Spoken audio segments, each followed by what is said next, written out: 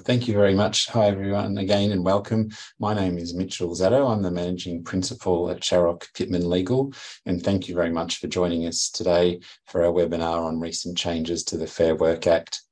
Um, before we get started, I would like to acknowledge the Wurundjeri people of the Kulin Nation as the traditional owners of the land on which our office is located and we pay our respects to their elders past, present and emerging and acknowledge that sovereignty was never ceded. And we extend this respect to all First Nations communities throughout Victoria and wherever you may be logging in from. And whether you have joined us for one of our webinars before or if it is your first time, a very warm welcome again. We hope these webinars are a helpful resource to share with you some must know information and guidance on different topics uh, that we encounter day to day in our practice as lawyers and which we think um, would be beneficial to share with you all. Um, you can catch up on the recordings and slides for previous webinars by heading to our website and clicking the link for our resources page.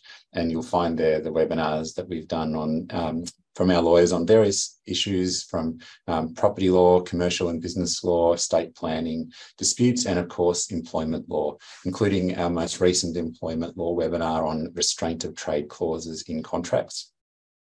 But today we're looking at some recent changes to the Fair Work Act, which have some far reaching impacts for employers and employees alike.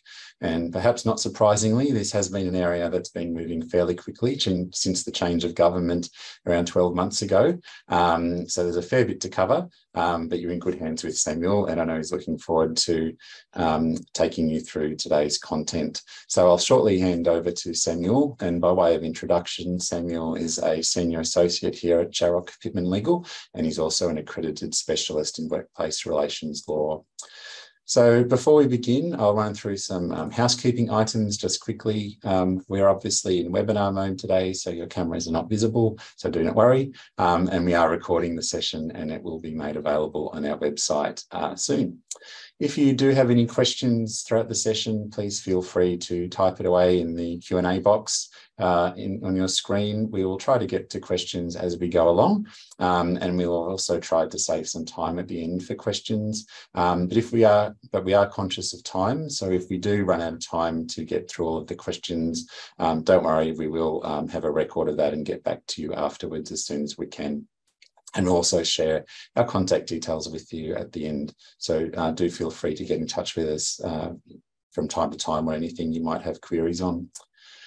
Um, before we do get started, we are lawyers after all, so forgive us for some fine print. Um, needless to say, we can only give you some general guidance today. Um, everyone's situ situation and circumstances are different, and that's really important. Um, and this is an area where it's uh, especially important, I think, to be dotting the I's and crossing the T's carefully. So take this uh, information uh, in a general sense and do get some advice on your own um, situation when you need. So now we'll get started and I'll hand over to Samuel. Thank you, Samuel.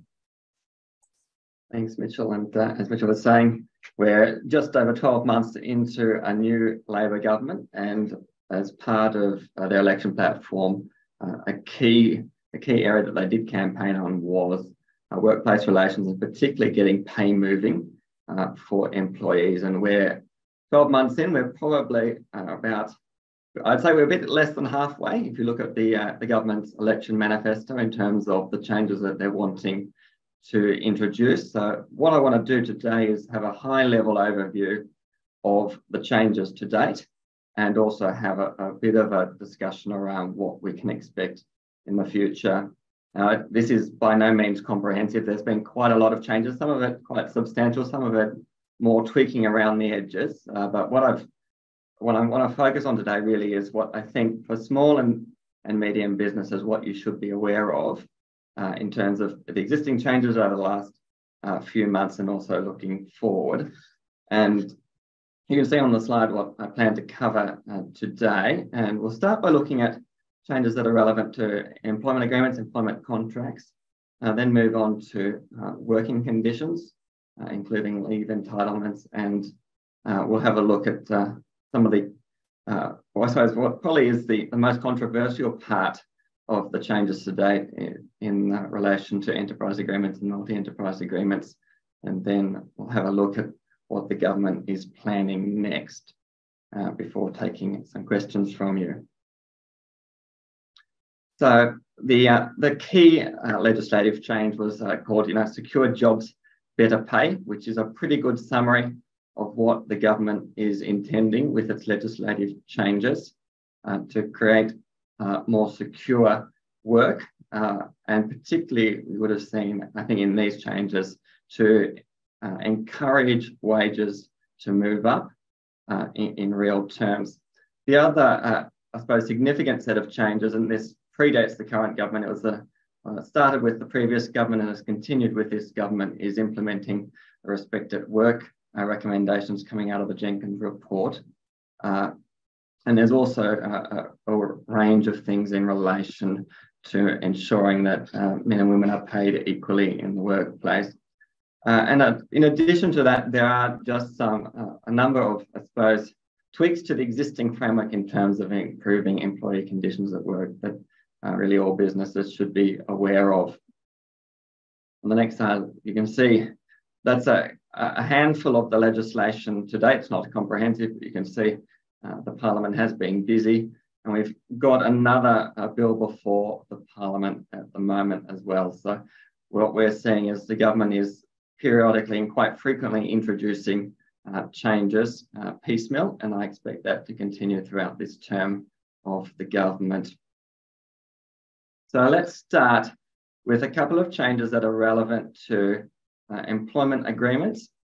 And the first change I want to talk about is the changes uh, in relation to fixed or maximum term contracts. Now, these are contracts where uh, a business engages a permanent, so full-time, part-time employee for an agreed amount of time. It might be, uh, say, you've got a, a, teacher who's employed on a 12-month fixed-term contract uh, or you know, where the, the essence of it is that at a defined point in time, the employment will come to an end.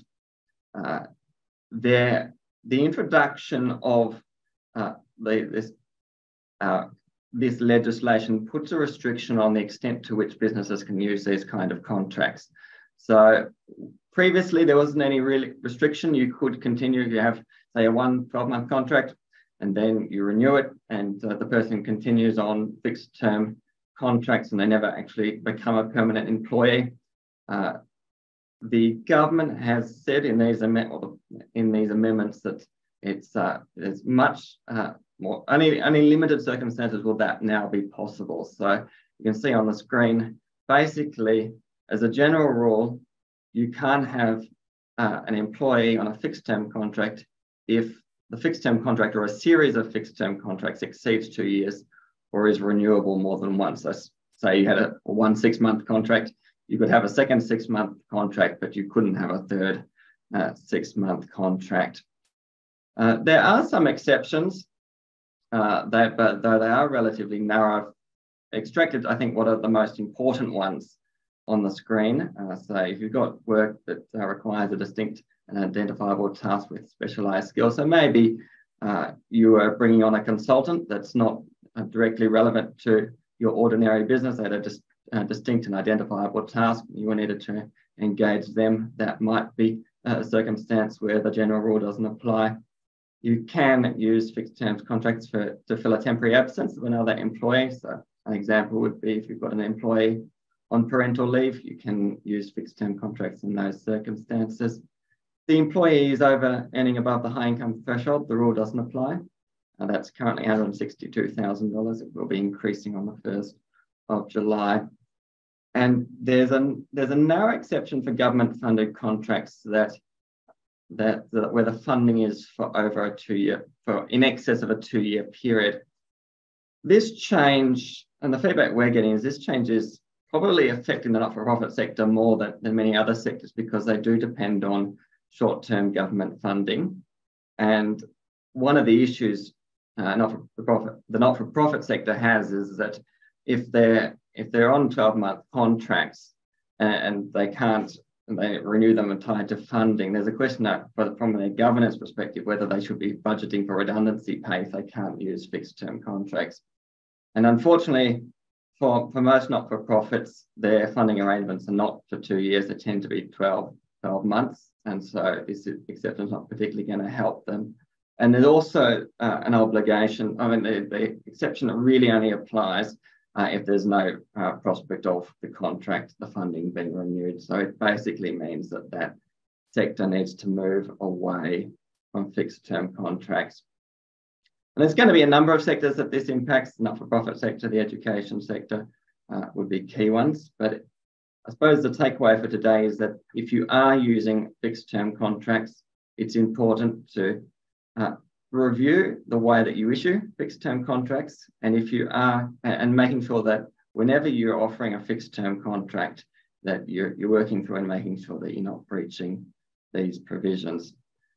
Now, we expect this to come into effect on the 6th of December of this year. So you've got a little bit of a leadway to get uh, in place. It could be declared earlier, but the Minister said it won't commence before the 6th of December of this year. So use the remaining months of the year to review your, your policies and procedures and uh, move away from fixed term contracts. Well, important also to note just before moving on that it also applies, while the law applies to new contracts, the, uh, the period of time will apply to existing employees. So if you've got employees who have been on fixed term contracts, uh, you, you won't be able to offer new ones from the 6th of December. The next uh, thing I want to talk about is the new pay secrecy provisions. And this is really to encourage, uh, I suppose, employees to, to talk about their pay and, and, equalise pay across the workplace, uh, particularly, I think, to improve uh, the outcomes of women in terms of remuneration. And what uh, so what the uh, the legislation has done is there's now a positive right on employees to disclose their remuneration uh, and the terms and conditions of employment relevant to remuneration. So you know, both the dollar figure that they're receiving and uh, benefits or conditions or things that, that are relevant to their remuneration structure, which is pretty broad. And employees also have a right to ask other employees about their remuneration. That's both within the workplace and uh, of any other business as well. So it's a, it's a broad right to encourage employees to discuss remuneration.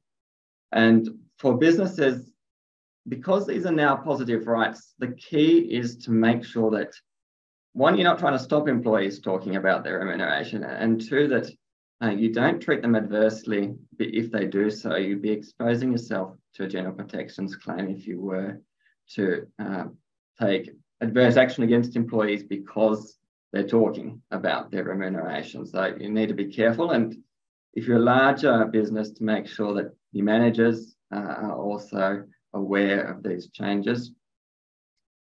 And, and another takeaway, and this I think probably catch out quite a few employers, it's now unlawful to have uh, pay secrecy clauses in employment contracts. And uh, what I would do is I'd recommend actually going and having a look at your employment agreements. You might not think that you had a clause around pay secrecy, but a lot of employment agreements uh, will have a general confidentiality clause. And uh, in my view, those uh, are now problematic. So I'd be having a look at your employment agreements and removing or, or significantly narrowing any confidentiality clauses that relate to the terms of the employment agreement itself. All right, so that's employment contracts.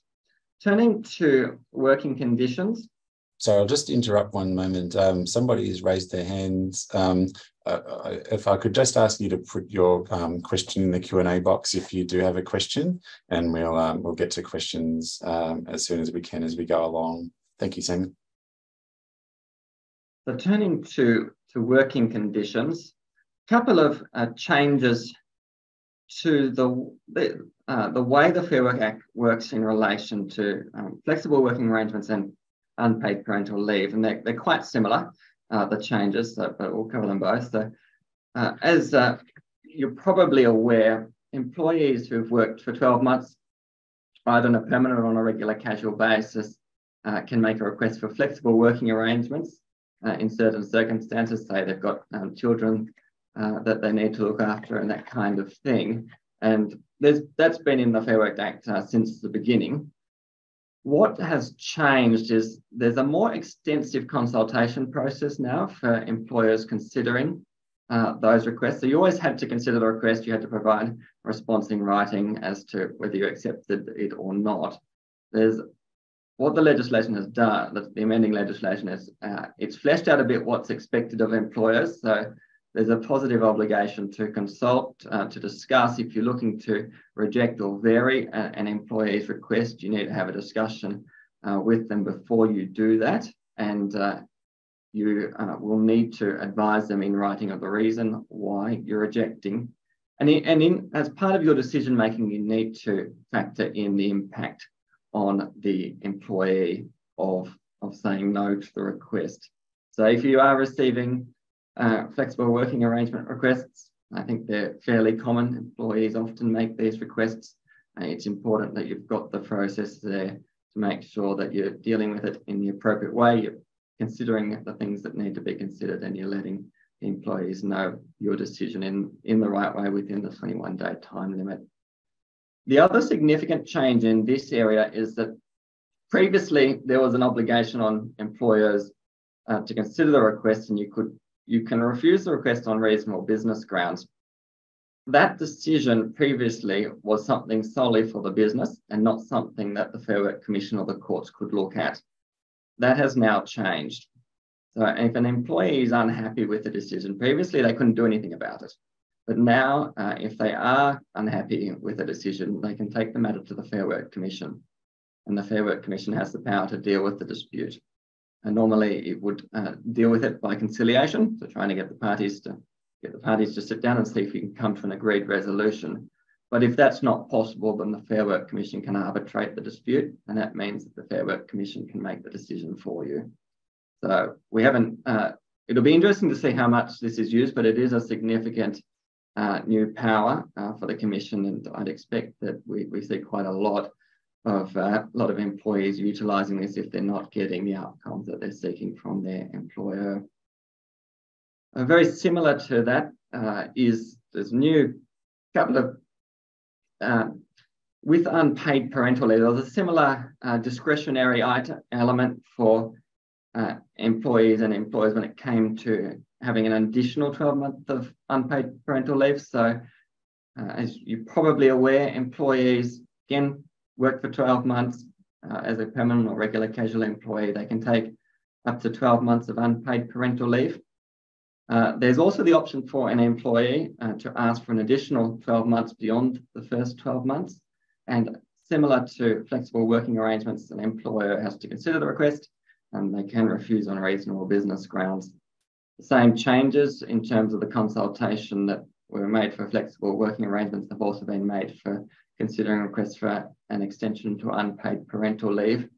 And the same dispute resolution procedure applies. So you do have an employee that comes to you and asks for 12 months beyond their original 12 months of unpaid parental leave. If you uh, refuse that re request, then they can take the matter to the Fair Work Commission.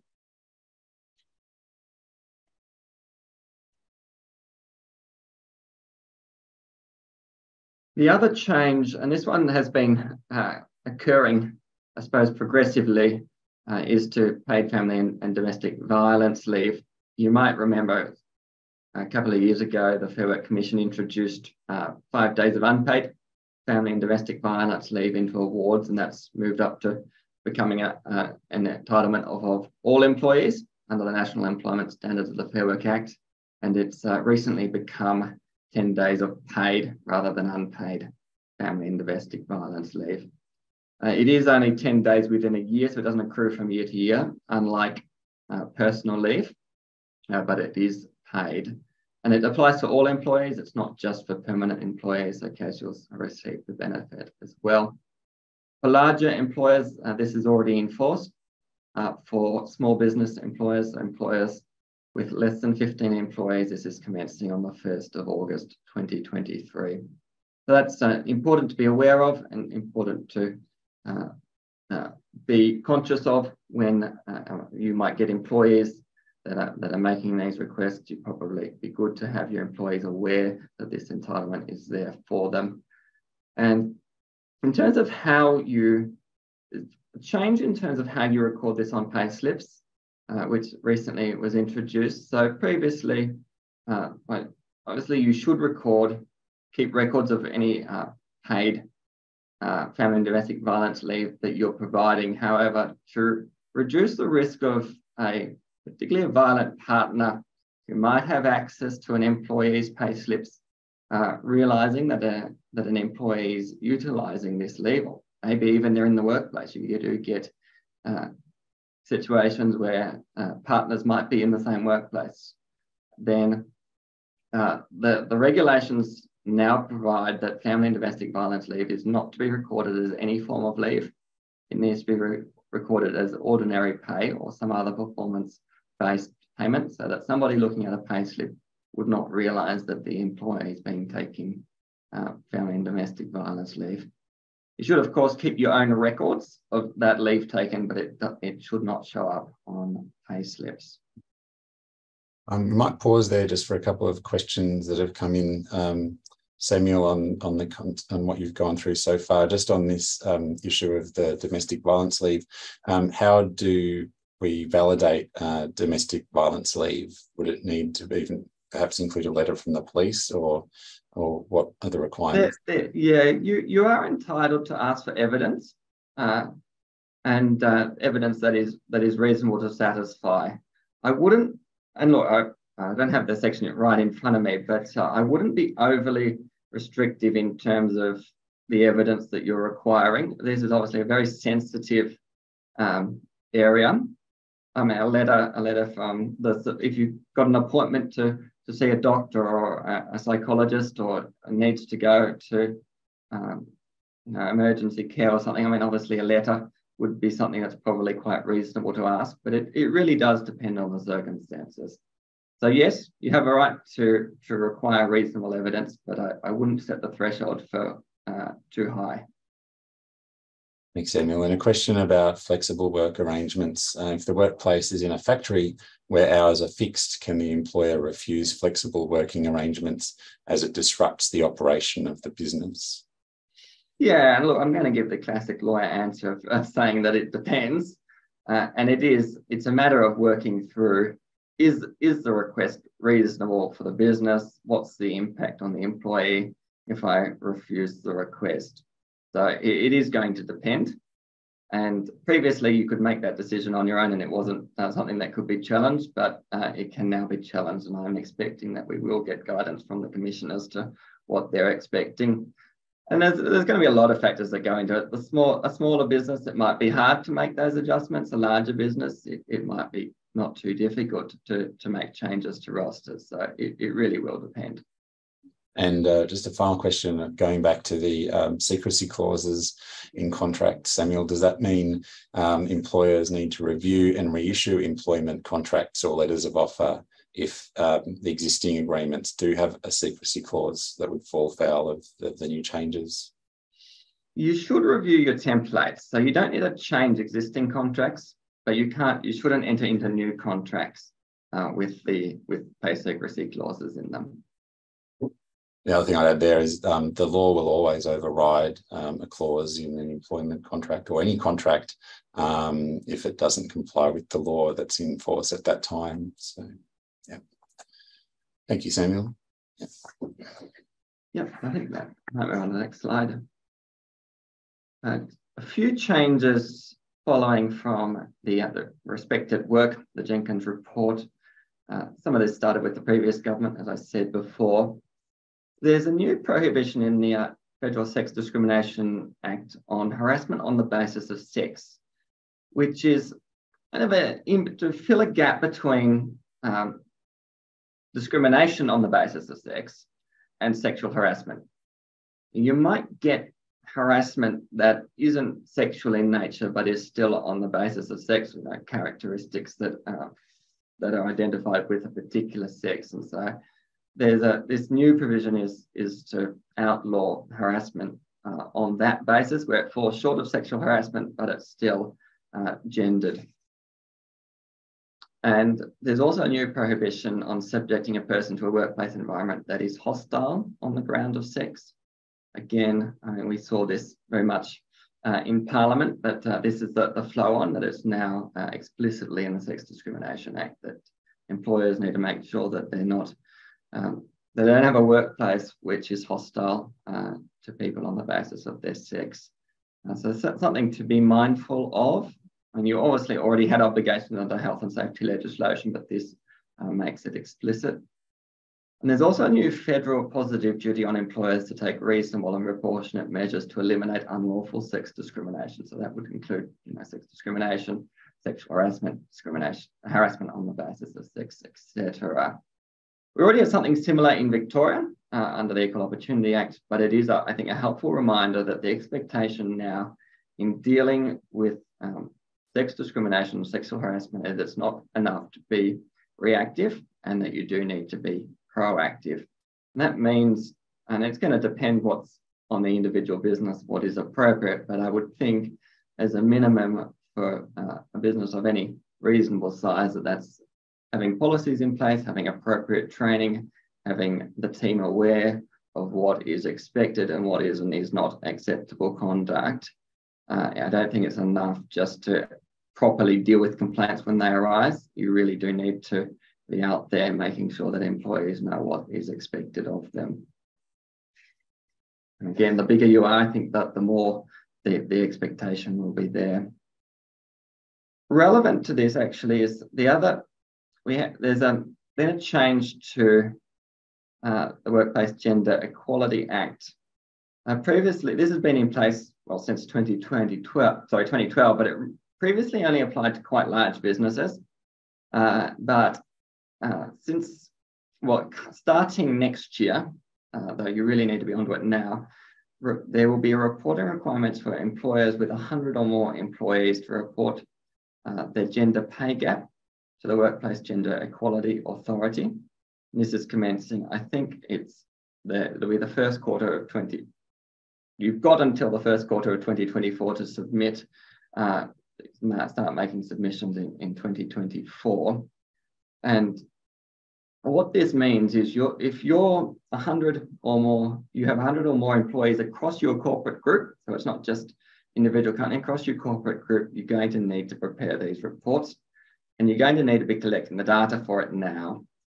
And so that, that includes, you know, the proportion of your employees that uh, of a specific gender, the, the remuneration of those employees, uh, and it also includes collecting information and reporting about some of the things we were discussing before around how you manage sex discrimination, sexual harassment, the, the proactive measures that you're taking to prevent sexual harassment and sex discrimination in the workforce, and all of that needs to be reported. So it's important to be working through those things now and, and getting ready to report from April next year. And uh, those reports there's some exclusion for remuneration information, but those reports be available to employers, to unions, to shareholders. Uh, and uh, so it'll be quite well known where you're sitting and they look at, you know, what's your average, what's the, the median wage and what's the average wage, the mean wage that uh, women in your workforce get compared to what men get. Uh, so really we're trying to encourage and get employers to focus on making sure that men and women are paid uh, equal within the workforce. So if you are over that 100 employee uh, point, uh, important to have a look at those, I'd say sooner rather than later in preparation for next year. All right, moving on to enterprise agreements and industrial bargaining. And this is probably the section of the, change that was the most controversial and has received the most media attention. And I'm, it is quite a complex and quite a significant change. And I'm not going to go through everything. I've just selected a couple of things that I think uh, might be helpful for people uh, to understand, particularly small and medium businesses. So starting off, there's been some changes to the Better Off Overall test. If you know anything about enterprise agreements, you'll know that the, the key test for whether an enterprise agreement can be approved or not is whether it makes employees better off overall compared to the award that they would be covered by uh, if they if there was no enterprise agreement. And it's been a bit of a, I think both sides of politics and certainly uh, across the industrial landscape, there's broad agreement that the BOOT wasn't working particularly well. It was too narrow. It was too technical. Uh, and so there's been a, a, couple of changes. I'll just highlight, I think the first one's, uh, I suppose, a positive change in terms of saying what the Commission should consider. So the Commission should consider, you, are taking a holistic global approach to whether employees are better off overall rather than a line by line. Does it does each individual entitlement uh, result in a better outcome for the employee? Uh, the legislation now says that the Commission may have regard to the reasonable foreseeable patterns or kinds of work that employees may perform in assessing whether employees will be better off overall compared to the relevant award. The, the positive for employers there is it does mean that it needs to be reasonably foreseeable what the employees are doing. It's not every, any hypothetical possibility. It's something that's actually practical and likely to happen. Suppose the flip side of that is that it's also open for employees and unions to argue that uh, whilst you've got no employees at the minute that are working in a particular way, you might have them working in that way, in a particular way, say certain shifts uh, in the future and, and, and ask the Commission to take that into consideration. So it'd be interesting to see how that one plays out, but it's only the, the intent there is for the Commission to take a, a practical approach when assessing the BOOT. Uh, the second change I'll highlight, and this one uh, could be a bit more of a headache for employers. Currently, well, prior to today, actually, when the, the, this amendment comes into force, the Commission would assess the BOOT at the time of the application. However, and then you know you have the enterprise agreement could be up to four years and it's locked in for four years.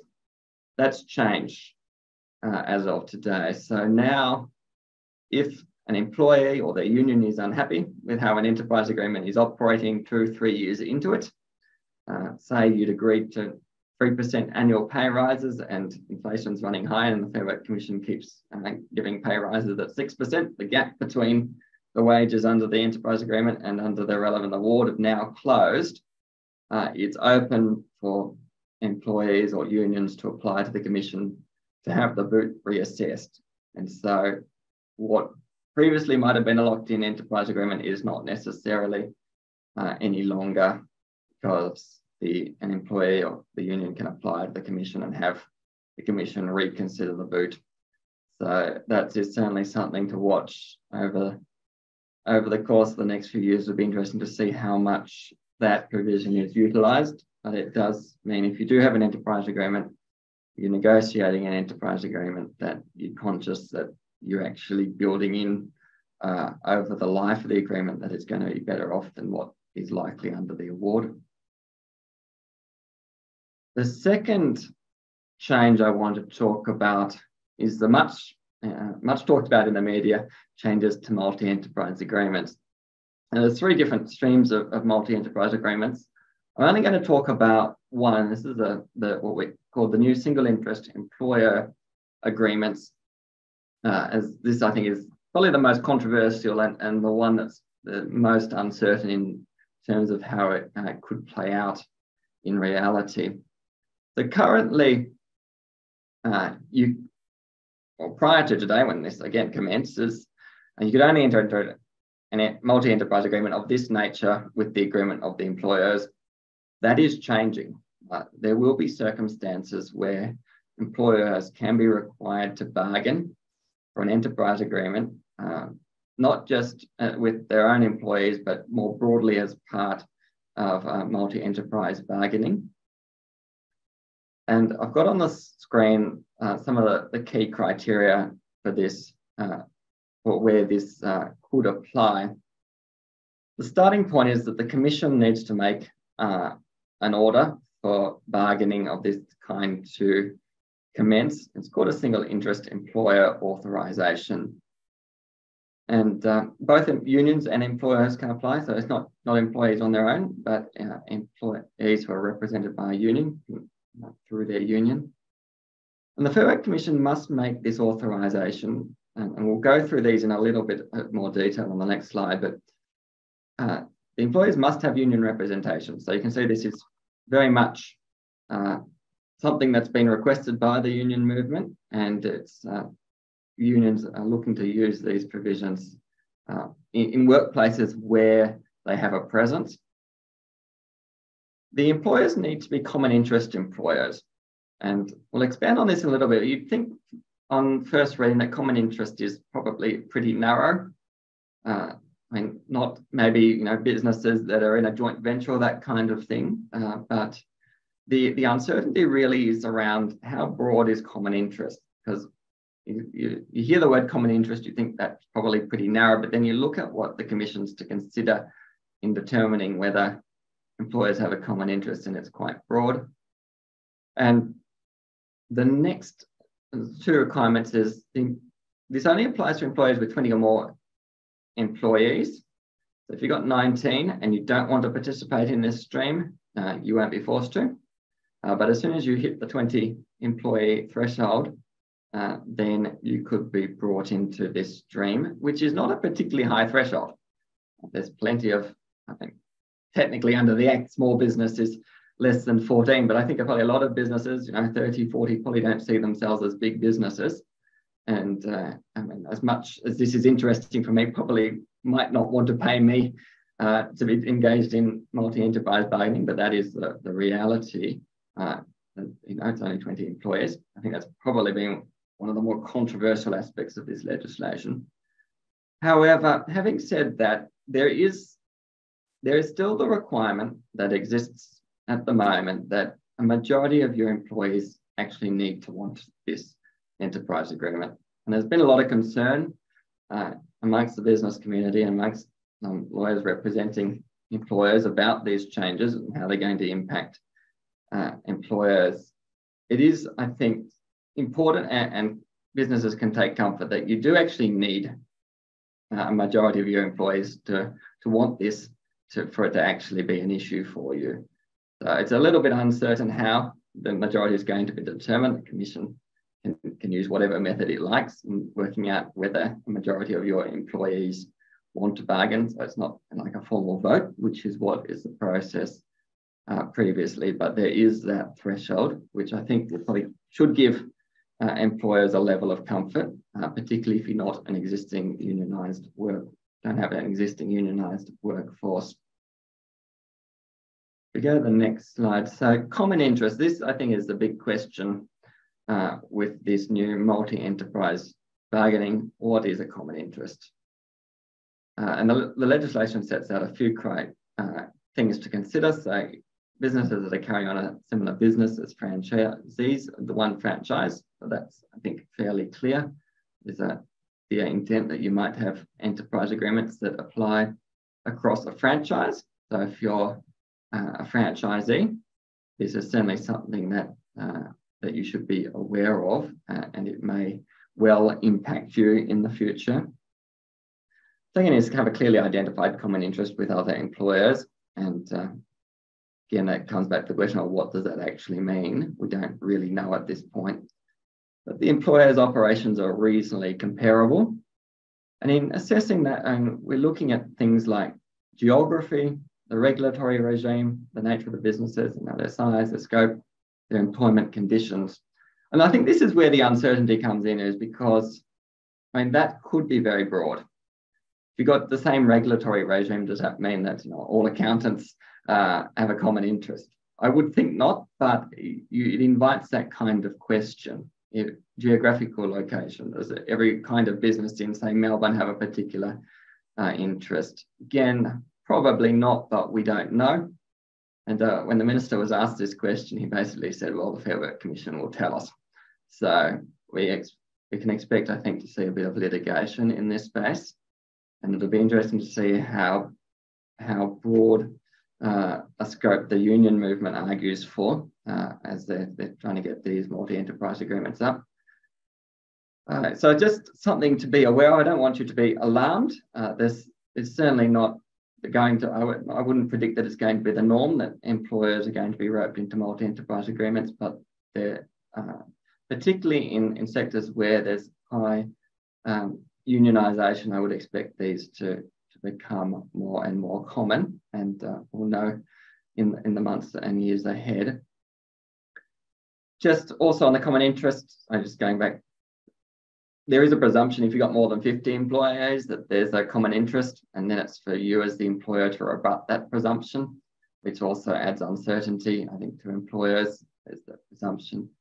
And the other point to note is that unions, you, you might not be involved in the initial negotiation of an enterprise agreement, uh, but you might be roped in later because uh, there's a power for uh, unions to apply to the Commission to vary these enterprise agreements to include new employers.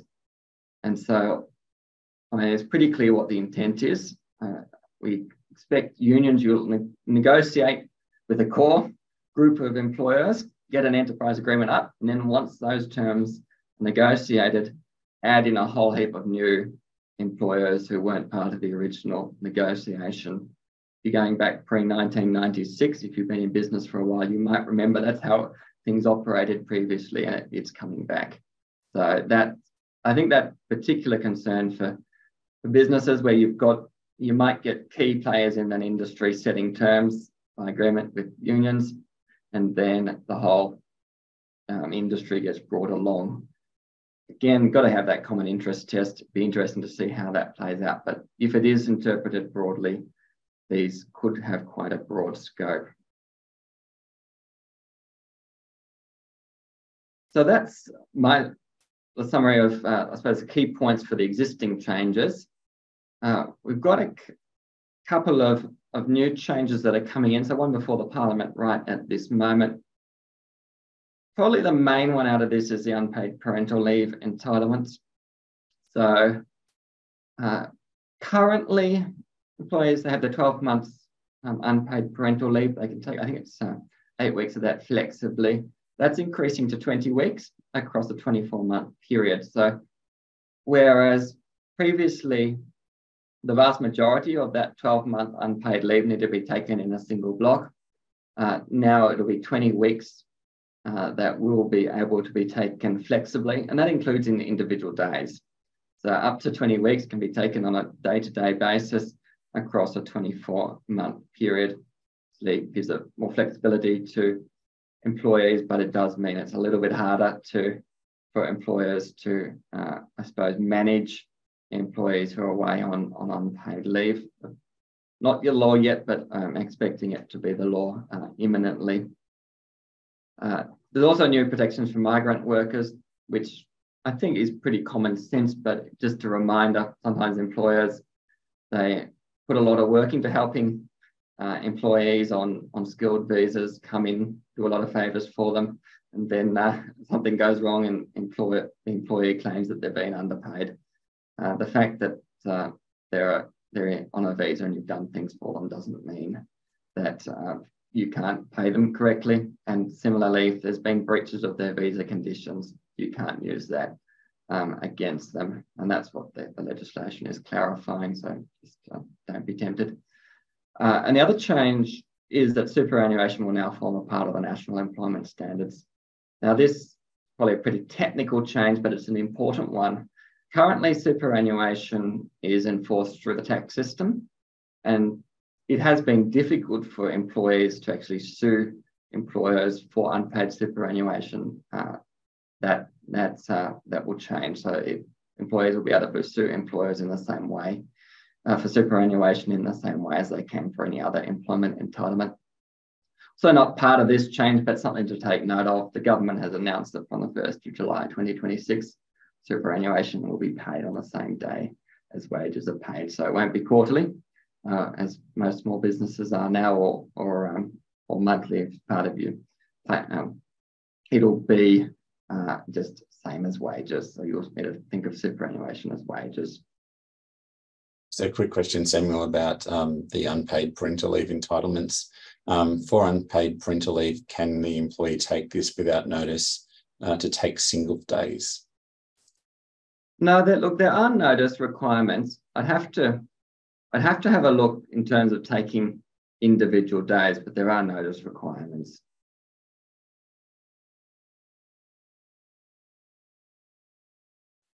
And in terms of what is next, and this is the government just finished a consultation process, and these are some of the things that it's, the government is looking to implement. I would imagine across the remainder of this term of government.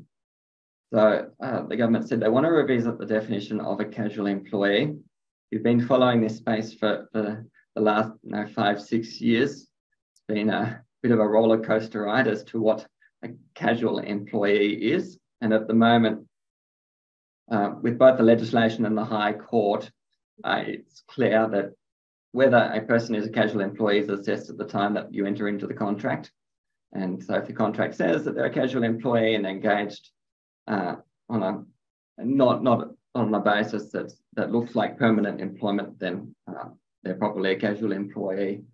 We expect that um, the government not particularly happy with that outcome, and so you can expect a probably a move back to what we understood around going back 2017 or so, where you're making a more holistic assessment across the course of the employment. Is the employee working um, regular hours, predictable hours? Maybe if they are, they, they might actually be a permanent employee rather than a casual employee. So uh, do watch that space. Uh, the other major change, and I think uh, this is probably the most controversial aspect of the next stage of, of legislative changes, is uh, there's going to be new requirements around same job, same pay targeted at labour hire. So currently, businesses might have employees that might have enterprise agreements that can often get better conditions than people they bring in through labour hire companies. And that the government is basically wanting to, to outlaw those kind of arrangements, saying if you're using labour hire, you've got to pay them the same that you pay uh, your employees. So if you are using labour hire workers, uh, it, this is certainly something to watch out for. We're also likely to see um, a national labour hire regime for licensing. There's already one in Victoria, but that we expect to be nationalised. We expect to see wage theft criminalised. Again, it's already been criminalised in Victoria, but we expect to see that occur at a national level.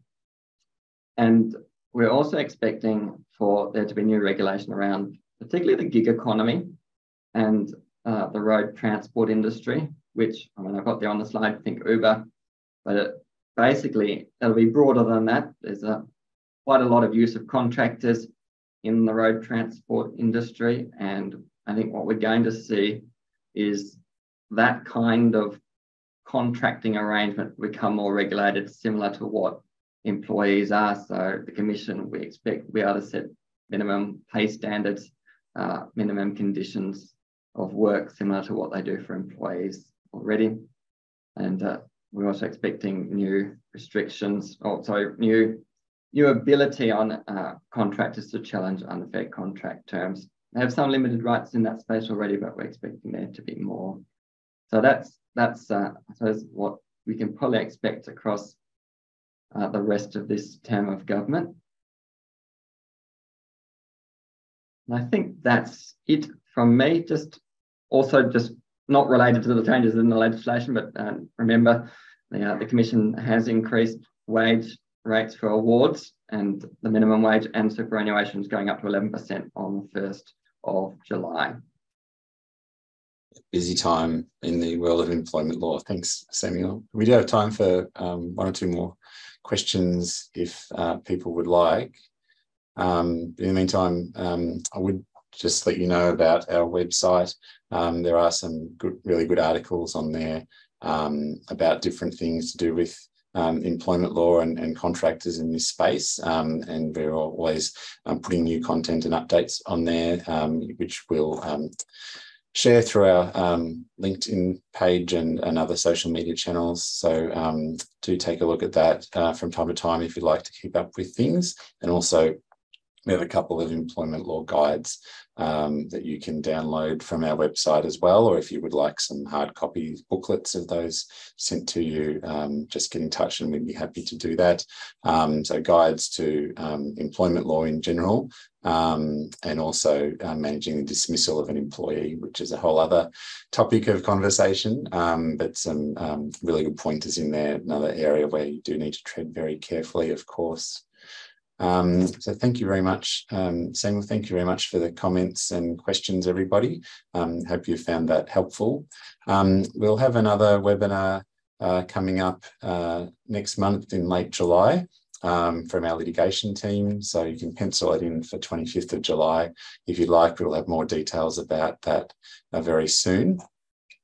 And uh, finally, a quick plug, if you'll allow me, um, just uh, the again the book uh, Fighting for Enterprise Success by David Sharrock, who um, some of you may know, former managing principal here um, before he retired a couple of years ago. Um, if you're interested in looking at how a systems approach can help drive excellence and high performance in your business or organisation, do take a look at the website there um, and some samples and, and more information about the book. It's full of lots of wisdom, guidance, and reflection from David, and also um, lots of samples, self assessment tools, and things that we've been doing in our own business um, which may be of help um, in adapting for yours.